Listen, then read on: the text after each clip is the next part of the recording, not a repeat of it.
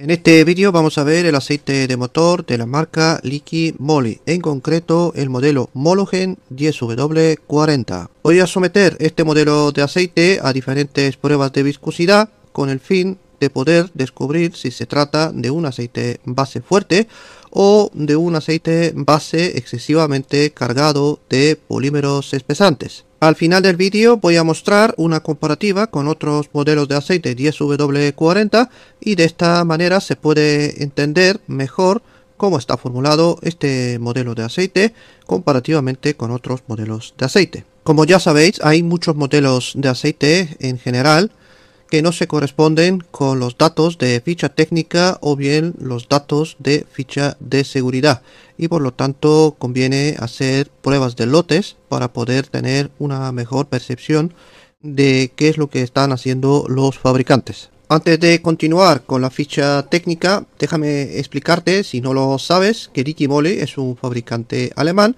que por norma general está fabricando los aceites en Alemania. Por lo menos aquí en el mercado español, todos los modelos de aceites que vienen de este fabricante vienen fabricados en Alemania. A continuación vamos a ver lo que está declarando en la propia ficha técnica. Está recomendado para ser utilizado donde se requiere la norma internacional ASEA A3B4. También hace exactamente lo mismo con la otra norma internacional API SL. Aparte de esto, tiene una recomendación de diferentes normas de diferentes fabricantes. Viscosidad cinemática 40 grados 95 centistoques, viscosidad cinemática 100 grados 14,2 centistoques, índice de viscosidad 155 centistoques. Declara un color verde fluorescente. Últimamente en España está bien de moda hablar de productos con estos colores verde fluorescente o también llamados Alien Blood. A continuación vamos a ver el apartado 9 de la ficha de seguridad donde localizamos la viscosidad declarada en esta ficha. Tenemos 95 centistoques a 40 grados y 14,2 centistoques a 100 grados. Esto es eh, prácticamente idéntico a lo que es la propia ficha técnica, por lo tanto hay que decir chapó esta gente de Liquimole se han puesto de acuerdo y han escrito bien las fichas técnicas y las fichas de seguridad. Esto no sucede con todos los fabricantes y recientemente se han probado modelos de aceite donde hay discrepancias entre una ficha técnica y una ficha de seguridad. A continuación vamos a ver el apartado número 3 de mezclas donde los fabricantes suelen declarar ciertos aceites bases que han utilizado que se pueden considerar tóxicos.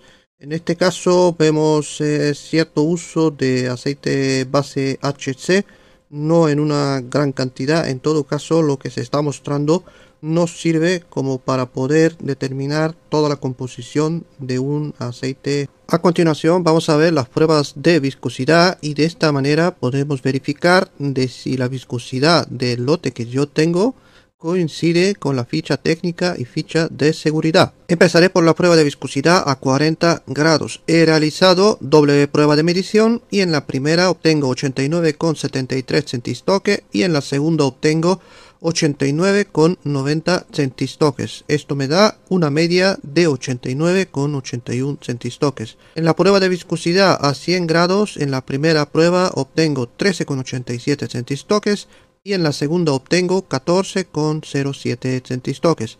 Esto me da una media de 13,97 centistoques. A continuación voy a poner la prueba de viscosidad a 26 grados en la parte de arriba superior derecha. Te dejo un tutorial donde explico exactamente para qué se está haciendo ese tipo de prueba. En la primera tenemos 35,02 minutos, en la segunda tenemos 35,43 minutos, lo cual nos da una media de 35,22 minutos. A continuación pongo una tabla que yo suelo realizar con las pruebas de viscosidad 40 a 100 y a 26 grados. Vemos de que se obtiene un índice de viscosidad de 160. Bien, estos valores son bastante parecidos a los que está declarando el propio fabricante en su ficha técnica y en su ficha de seguridad. Quizá la única diferencia es en la prueba de viscosidad a 40 grados, pero se puede decir que no hay mucha diferencia y el índice de viscosidad por supuesto varía ligeramente. A continuación vamos a ver una comparativa con otros modelos de aceite que ya he probado en el canal. Podemos observar dos modelos del fabricante Shell, dos modelos que se diferencian bastante entre sí. Uno tiene una viscosidad a 40 grados muy parecida al modelo Liqui Moly y el otro se pasa a tres pueblos que literalmente literalmente no se puede comparar, básicamente porque tiene una viscosidad cinemática a 40 grados de 100, por lo tanto con estos 10 puntos por encima, este modelo de aceite automáticamente tenemos que excluirlo de la propia prueba comparativa. Por lo tanto, solo y únicamente voy a poner en pantalla los tres modelos que se pueden comparar. El Shell H X7 10W40 con A3B4 y con API SN Plus, el propio Liquimol Molugen.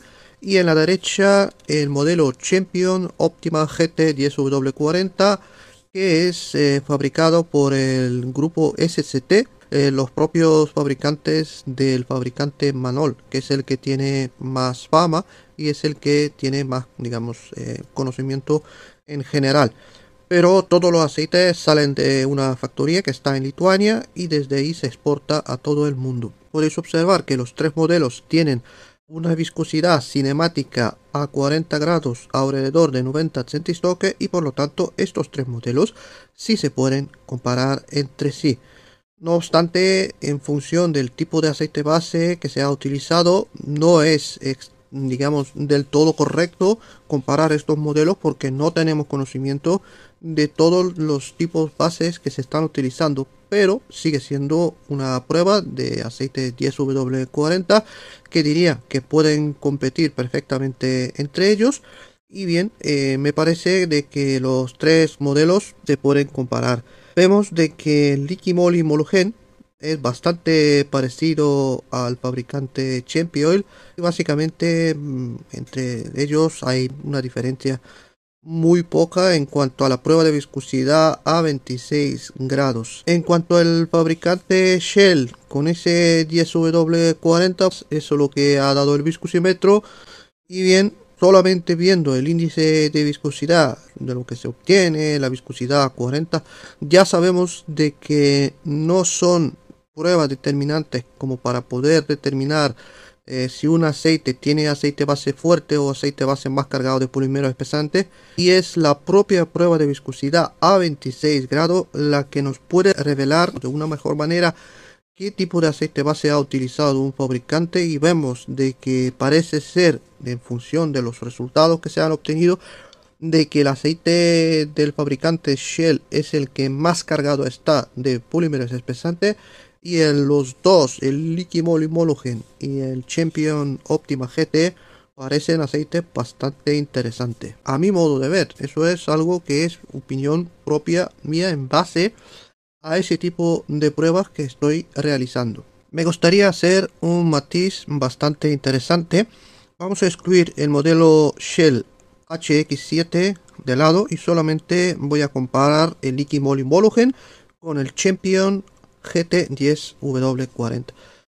Fijaros en la prueba de viscosidad a 40 grados, podemos decir que son completamente idénticos. En la prueba de viscosidad a 100 grados, el Liquimoli da ligeramente por encima, rozando 14 centistoques. Por lo tanto, esta diferencia con el modelo Champion GT 10W40 nos está indicando de que el propio fabricante Liquimoli, para poder llegar a esta viscosidad de 14 centistoques, sí o sí ha tenido que haber utilizado más polímeros espesantes y por lo tanto vemos de que automáticamente esto se ve representado en un índice de viscosidad superior, en el GT tenemos un índice de viscosidad inferior y en la prueba de viscosidad a 26 grados vemos automáticamente de que esto queda perfectamente reflejado. Obviamente la diferencia no es muy grande, pero sigue habiendo una diferencia bastante, digamos, interesante que podemos deducir con esto de que elevar más de lo necesario la viscosidad a 100 grados no es sinónimo de algo positivo, más bien todo lo contrario, sinónimo de más carga de polímeros espesantes.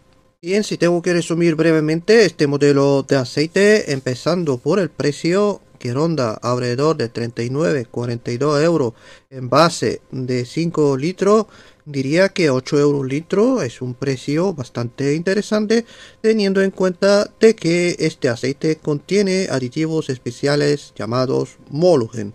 El propio fabricante Liquimoli está indicando de que el propio aceite puede ser utilizado donde se requiere el uso de alto rendimiento, baja fricción, bajo desgaste y por lo tanto puede ser un aceite de motor muy interesante teniendo en cuenta el resultado que ha ofrecido este modelo de aceite en la prueba de viscosidad a 26 grados.